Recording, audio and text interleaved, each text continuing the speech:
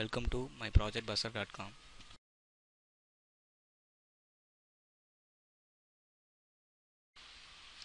Now we can going to discuss about the project autonomous power control management between standalone DC microgrids.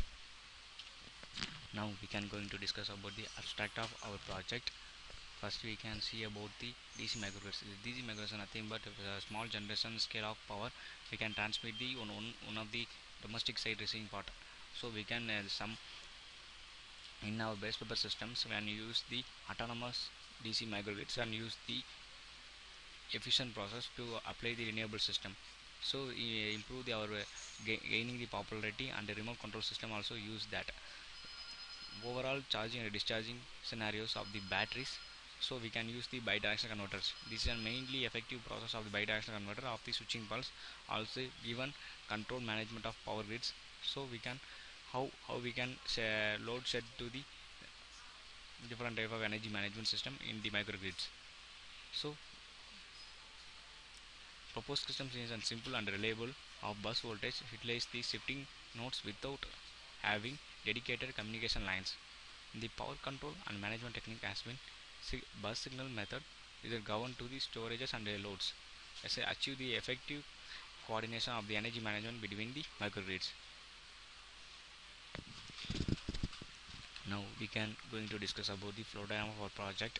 First we can see about the solar panel. The solar panel integrated with the maximum power point tracking algorithm. We can use that. This passed to the dc to dc converter. Some conversion process we to improve our power. Left side we can see the one of the system is on high, high tension side another is on low, say low tension side so this is combined to the inner of the converter single uh, single phase converter we can use the switching pulse of sinusoidal pulse with modulation so first we can see the solar panel the solar panel, solar panel we use of the input irradiance level is very high is passed to the dc to dc boost converter we boost uh, improve the power we can use to the converter the converter can control the entire loads we can how we can get, the load will identify the uh, load demands response we can use the process. The the DC to DC converter pass the signal is and pass the converter is an uh, another thing is a load is an very high. The solar panel is not giving that power is not efficient. The battery energy so uh, battery storage system can use that bidirectionally act as on load uh, response demands. So is an similar that right side also this is a uh, very effective controller of the process. So uh, given the switching pulse sinusoidal pulse sinusoidal pulse width modulation. So our system is an entirely safe and sufficient work for solar panel with microgrids. Now we can going to discuss about the running procedure of our project. The proposed system implementation done in MATLAB version 2013a first open the MATLAB file window and create a new model file. After the creating the elements as per the circuit diagram the output waveform will be corresponding scopes are connected in the circuit diagram. Uh, first I can show that the circuit diagram of the project. Uh, this is our circuit diagram entire circuit diagram of the project. Is on uh, high tension side low tension side similar that as per uh, flow diagram process. Next I can show these corresponding uh, scopes are connected the different types of uh, subsystem blocks. I will show the results this is an solar panel one big solar panel one means a high tension side. Is an very huge amount of power generation in IV PV PV characteristics. Sun power voltage uh, y axis is power x axis power uh, voltage. So we can a huge, huge amount of power generate the solar panel.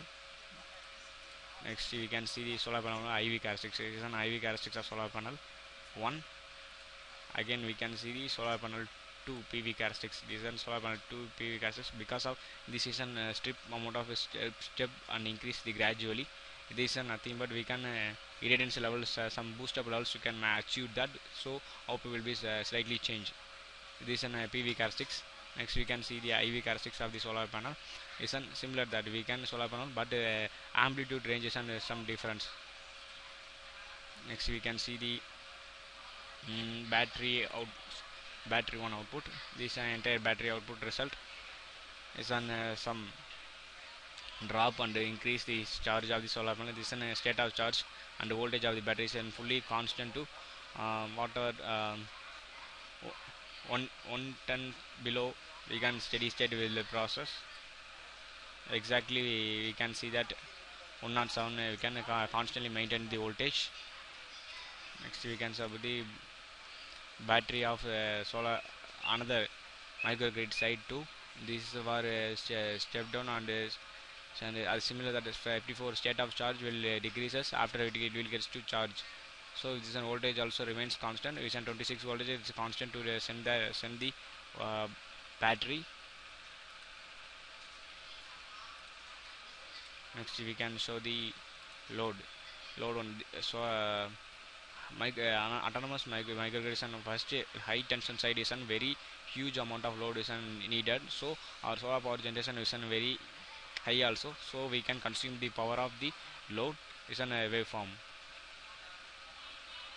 Next we can see the load 2 compared to um, autonomous microgrid 1 and this is an 2 load because of we can see the th 3000 something amplitude range of uh, previous ones. This is an uh, something for uh, 250 uh, remains as an peak over voltage. So that uh, this is a difference for that uh, consumed the voltage because uh, we, our system is a very efficient very efficient to given the switching pulse of the co- converter. I will show the switching pulse. This is a switching pulse of the our converter levels. So it's an uh, switch 1 switch 2 and switch 3 switch 4 is a randomly sequen uh, sequence on and off the switches. This one system is an uh, systematically efficient and uh, system has very balanced to the uh, load load uh, shedding of the process